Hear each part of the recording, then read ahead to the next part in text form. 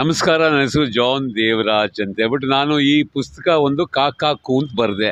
ಕಾಕಾಕು ಅಂದರೆ ಏನು? ಕಾಕಾಕು ಅಂದರೆ ಕೆ ಕೆ ಕೆ ಇಂಗ್ಲೀಷಲ್ಲಿ ಕೆ ಕೆ ಕೆ ಅಂತ ಬರುತ್ತೆ. ಕೆ ಕೆ ಕೆ ಏನು ಅಂತ ಹೇಳಿದ್ರೆ ಮೊದಲನೇ ಬಾರಿ ಇದನ್ನು ಹಿಟ್ಲರ್ ಪ್ರಸ್ತಾಪ ಮಾಡ್ತಾನೆ.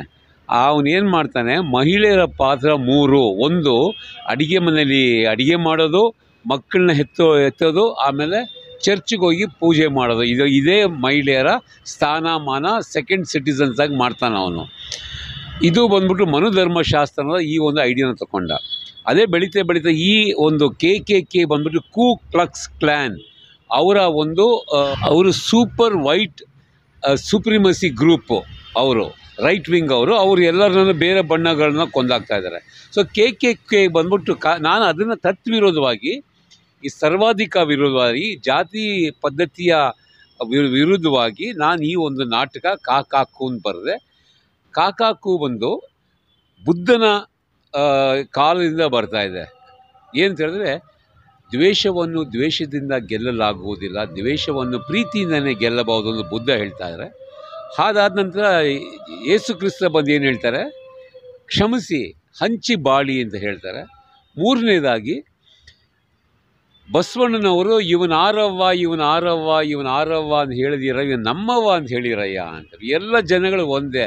ಅವನು ಯಾಕೆ ಬೇರೆ, ನಾನು ಯಾಕೆ ಬೇರೆ? ಅಂತ ಹೇಳ್ಬಿಟ್ಟು ಇದೇ ಈ ಕಾಕಾಕುನ ಹಿನ್ನೆಲೆ.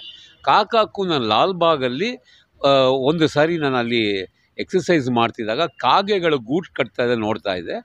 ಕಾಗೆಗಳು ಮೊಟ್ಟೆ ಇಡುತ್ತೆ. ಆ ಮೊಟ್ಟೆ ಇಟ್ಟಾದ ನಂತರ ಕೋಗಿಲೆ ಬಂದು ಅದನ್ನು ಬಳಸ್ಕೊಳುತ್ತೆ. ಸೊ ಕಾಗೆ ಶ್ರಮ ಪಡುತ್ತೆ, ಕೋಗಿಲೆ ಬಳಸ್ಕೊಡುತ್ತೆ ಸೊ ಇದರ ಒಂದು ಸಂಬಂಧದಲ್ಲಿ ಯಾವ ರೀತಿಯಲ್ಲಿ ಪ್ರಾಣಿ ಪಕ್ಷಿಗಳು ಸಹಬಾಳ್ವಿಕೆಯಿಂದ ಬದುಕುತ್ತೆ ಹಾಗೂ ನಮ್ಮ ಬಣ್ಣದ ಮೇಲೆ ನಮ್ಮನ್ನು ತೀರ್ಮಾನ ತಗೊಳ್ಬೇಡಿ, ನಮ್ಮನ್ನು, ನಮ್ಮ ಗುಣನ judge me not by the colour of my skin but by the strength of the character ಅಂತ ಹೇಳ್ಬಿಟ್ಟು ಕಾಕಾಕು ಬರೆದೆ.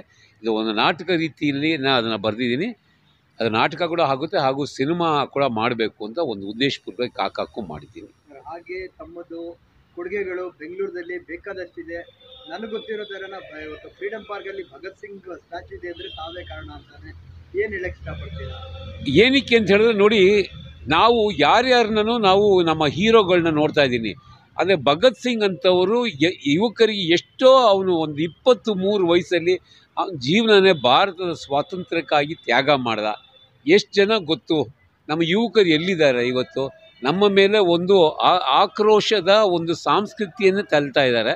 ನಾವು ಶಾಂತಿ ತರಬೇಕು, ನಮಗೆ ಸ್ವಾತಂತ್ರ್ಯ ಬರಬೇಕು.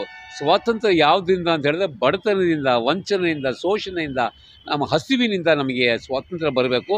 ಅದನ್ನು ಭಗತ್ ಸಿಂಗ್ ಅವರು ನಮಗೆ ಮುಂದೆ ತೋರಿಸ್ತಾ ಇದ್ದಾರೆ. ಅದಕ್ಕೆ ಭಗತ್ ಸಿಂಗ್ ಹೇಳೋದು ಇನ್ಕಲಾಬ್ ಜಿಂದಾಬಾದ್ ಅಂತ ಹಾಗೆ ತಾವು ಎಲ್ಲ ಒಂದು ಕಾರ್ಯಗಳು ಒಳ್ಳೆ ಒಳ್ಳೆ ಅದ್ಭುತವಾಗಿ ಮಾಡ್ತಾ ಇದ್ದೀರಾ.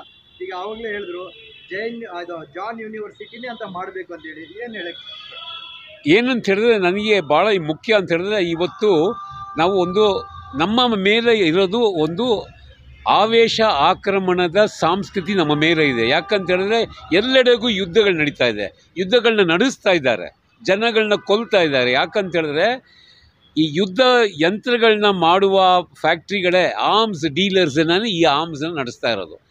ಸೊ ನನಗೇನು ಅನಿಸುತ್ತೆ ನಾವು ಈ ಜಗತ್ತಲ್ಲಿ ಶಾಂತಿ ತರಬೇಕು. ಇದೇ ನಾನು ಕಲ್ತಿದ್ದು.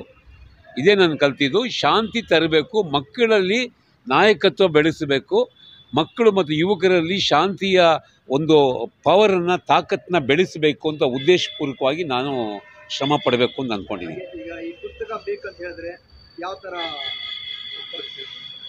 ಈ ಬಿ ಅದು ನನಗೆ ಕೂಡ ಯಾರೋ ಬಂದು ಅದನ್ನ ಡಿಸ್ಟ್ರಿಬ್ಯೂಟ್ರ್ ಮಾಡಬೇಕು. ನನ್ನನ್ನೇ ಬಂದು ಕಾಂಟ್ಯಾಕ್ಟ್ ಮಾಡ್ಬೋದು. ಸದ್ಯದಲ್ಲಿ ನನಗೆ ಇನ್ನೂ ಡಿಸ್ಟ್ರಿಬ್ಯೂಷನ್ ಸಿಕ್ಕಿಲ್ಲ. ಕಲಾವಿದರ ಚಿಂತನೆ ಹಾಗೆ ಎಲ್ಲ ಹೇಳಿದ್ರು. ನಾವು ಎಲ್ಲ ಮಾಡ್ತೀವಿ. To do more with less ಅಂತ ನಮ್ಮ ಗೆಳೆಯರು ಕೂಡ ಅದನ್ನೇ ಹೇಳಿದ್ರು. ಸೊ ಹಾಗಾಗಿ ನಾನು ಮಾಡಿದ್ದೀನಿ. ಜನಗಳು ಬಂದು ಮುಂದೆ ತಗೊಂಡು ಹೋಗ್ಬೇಕು ಅಂತ